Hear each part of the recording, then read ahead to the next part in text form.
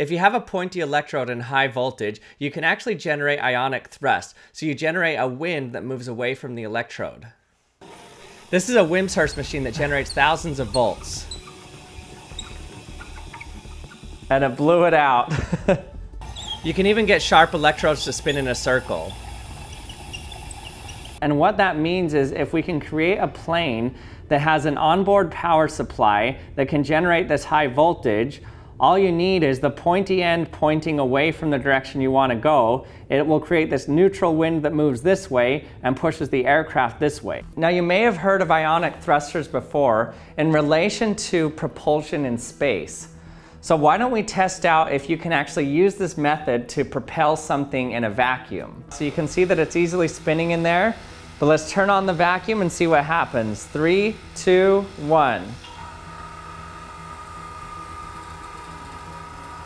Still going, it might be slowing down though.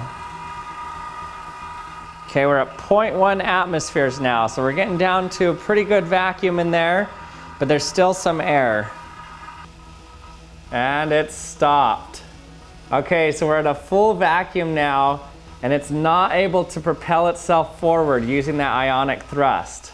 So all you need to do to get an ion thruster to work in space is you need to bring the gas with you. There's no gas in space around you, so you supply the gas that's going to get propelled out the back. And the way it's going to get propelled is not through combustion like a typical rocket booster, but you're actually going to propel it using these electric forces and cause it to be ionized, create this neutral wind that gets ejected out the back, and it pushes the aircraft forward.